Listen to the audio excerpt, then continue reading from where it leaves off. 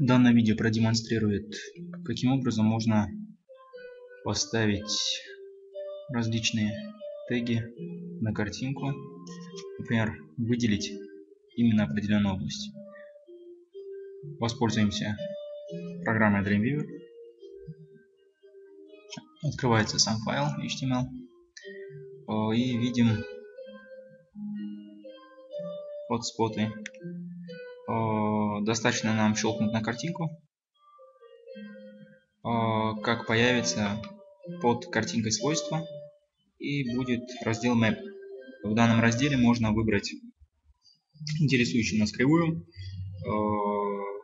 квадрат, многоугольник, круг и выделить раздел. Сообщение вышло о том, что нужно заполнить описание, именно alt.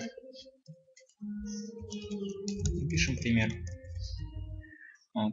А, кроме этого, если вы хотите, чтобы при клике на картинку, при наведении на картинку появлялось сообщение, ну, подсказка, то нам необходимо будет дополнительно в самом коде дополнить